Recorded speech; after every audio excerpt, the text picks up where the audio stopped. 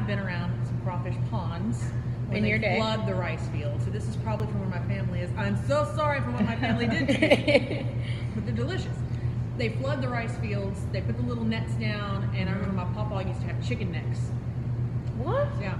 So I don't know if they're free range organic chicken necks, but that's what these guys Are have these free range organic? Know where your food is coming from. That's right. You should always know where your food and your beer come from. That's right. So Southern Draw, why are you like doing this whole like let's keep it Louisianian as Yeah. Louisianian as possible? Well, for the first three years when we brewed this beer, it, it's a German pale lager. All the ingredients were German, and uh, we needed to make some changes to the recipe, and we wanted to make that beer more southern anyway. So the perfect way to do that was to incorporate an ingredient from our great state of Louisiana, and so we're using rice in every batch of Southern Draw that comes from Crowley.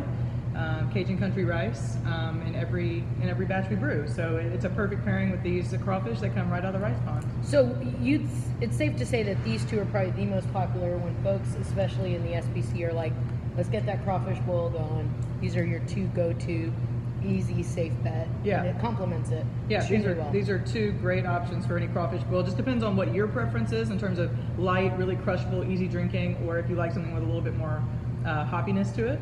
Uh, both of these are, are great options.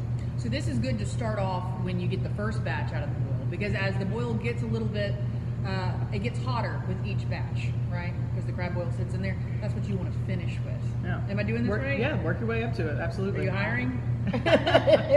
Absolutely. They pay in crawfish. and beer. We do we do give our employees free beer. That'd be good until I'm trying to pay Pretty tuition with that. Yeah. no. Please. what about some Southern Draw?